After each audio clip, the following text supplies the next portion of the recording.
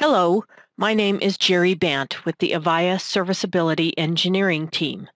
This video will show how to enable TR87 and configure the security setting on the AES server for integration with Avaya Aura Contact Center, or AACC. The TR87 interface on AES is used by AACC to control and monitor agent stations on Communication Manager.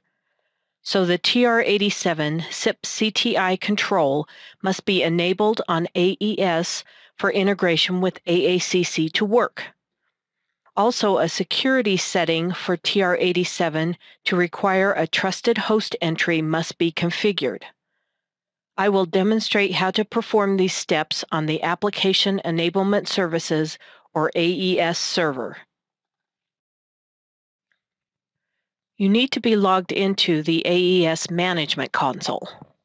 For this demo, I am already logged into a lab AES server. The blur in the upper right corner is to protect the server's IP address.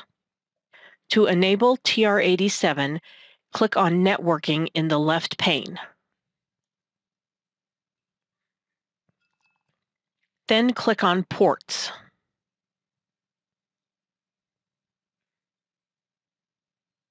Then scroll down to the DMCC Server Ports section.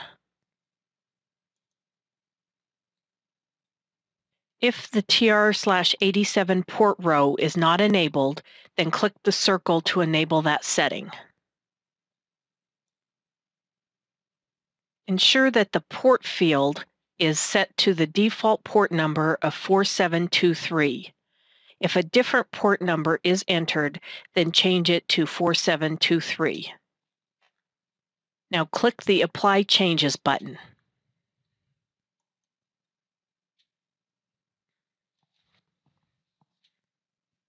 A confirmation page will appear.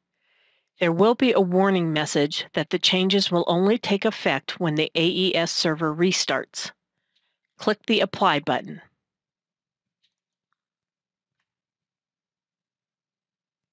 The ports page will display.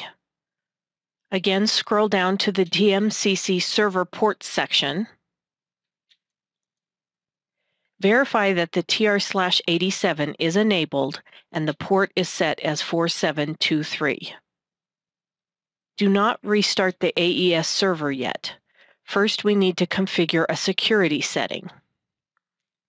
To do that, click on Security in the left pane.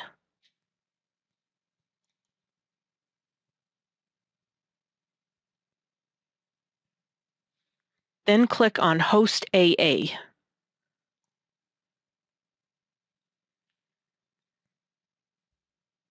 The system displays the host authentication and authorization page. Now click on Service Settings.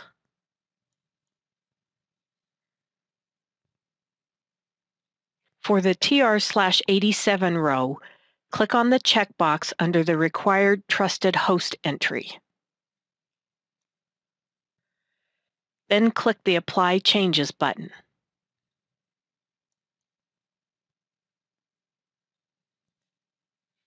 The confirmation window will display click on the Apply button to confirm the change.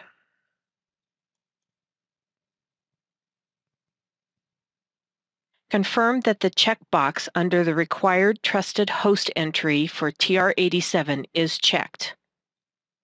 If you have any additional AES configuration changes to make, then finish those updates.